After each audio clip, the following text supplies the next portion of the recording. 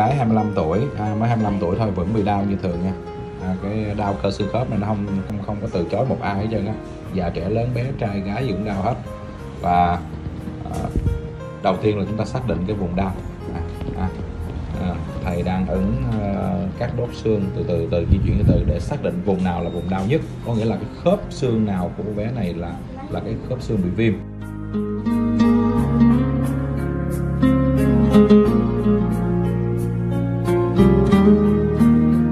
Đau chỗ nào mình đổ thuốc đại lực hoàng lên chỗ đó đó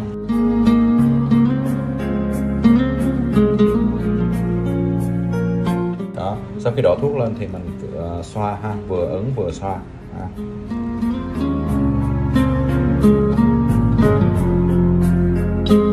nhớ là tập trung vô cái vùng đặc sau đó mình lại đổ thuốc lên ha.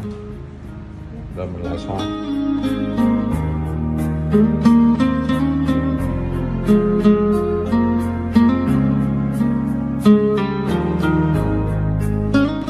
mình luôn những cái vùng xung quanh khu vực đau vì bởi vì ít nhiều nó cũng ảnh hưởng đến những khu, khu vực xung quanh.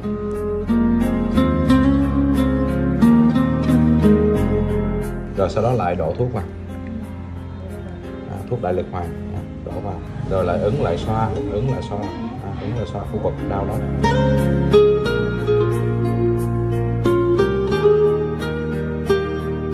Vậy là xong ha.